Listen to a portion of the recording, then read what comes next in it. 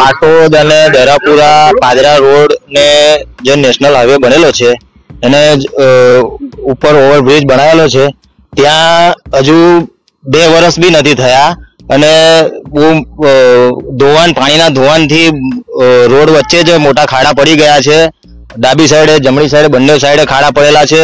ગઈ સાલ બી આ પરિસ્થિતિ હતી અને ગઈ સાલ બી આ આ જગ્યા પર સમારકામ કરાયેલું છે અને ફરીથી આ સાલ એ જ પરિસ્થિતિ ઉદ્ભવી છે અને આ સાલ એટલો મોટો ખાડો પડેલો છે કે અહીંથી અવર જવર કરતા સ્કૂલના છોકરાઓ કે કોઈ બી આજુબાજુના ગામડાવાળા અવર જવર કરે, ખેડૂતોનું જે ટ્રેક્ટર જાય છે, ટ્રેક્ટરો જાય કોઈ બી કઈ કશું કોઈ જાતનું નુકસાન થાય તો એની જવાબદારી કોણ લેશે?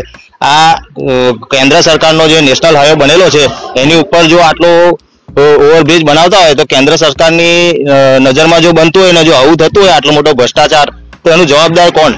એના માટે કોન્ટ્રાક્ટરને જવાબદાર ગણવા કે કોને જવાબદાર ગણવા?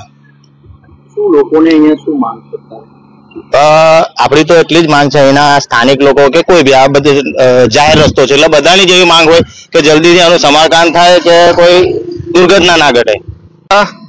પાટોદ રોડ છે. એક્સપ્રેસ હાઈવેનો બ્રિજ છે. આ ખાડા પડી ગયા છે. સરકાર પૈસાના કોન્ટ્રાક્ટરની બે જગ્યાએ અકસ્માત થાય તો એનો કોણ જવાબદાર? કેટલો ખાડો છે અને ખાડો જોયેલો ખાડો આ નવો જ રોડ છે જો હમણાં. પાંચ ફૂટ ખાડો છે. પાંચ ફૂટ ખાડો પડી ગયો છે. એક સાઈડ બે સાઈડ પડી ગયા છે. આ જોયેલો સાહેબ તો.